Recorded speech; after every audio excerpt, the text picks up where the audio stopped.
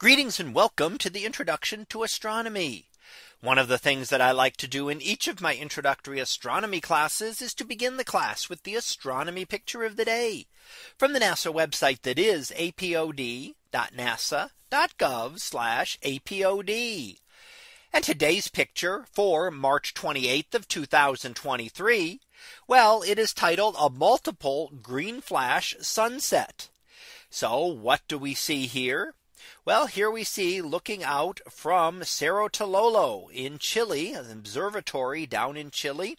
And we see the sunset. So we can see just barely see the sun starting to dip down there. And up above it, we see a number of green lines. Now this is what is known as the green flash that people have seen, but was really not uh, even known if it was true until relatively recently that it's been actually been able to be recorded. So once thought to be a myth, we now understand that the the atmosphere is acting like both a prism and a lens. So it is refract refracting and scattering that light and then bending the light to split it into its component colors. So it happens that the way it works is that those short green wavelengths are the ones that get scattered up and you can get here depending on the thickness of the atmosphere. And remember, when you're looking toward the horizon, you are looking through lots of atmosphere. So the atmosphere is a lot thicker in that direction than it is straight overhead. So when you're looking through all that atmosphere, you can sometimes get this flash that will occur. And you might see this if you watch the sunset and the conditions are right. You will see as the sun is setting.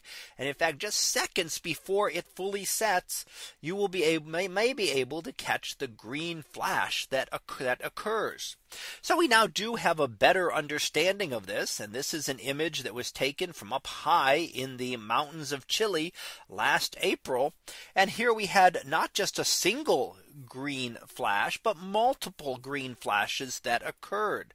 So multiple layers of the atmosphere working just right to give us this green flash and just perfectly having them all occur simultaneously to get this single image.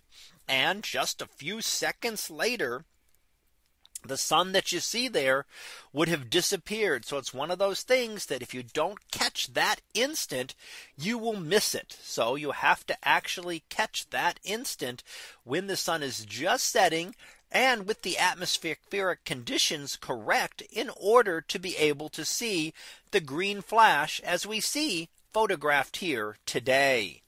So that was our picture of the day for March 28th of 2023. It was titled a multiple green flash sunset. We'll be back again tomorrow for the next picture previewed to be dolphin versus cloud. So we'll see what that is about tomorrow. And until then, have a great day, everyone. And I will see you in class.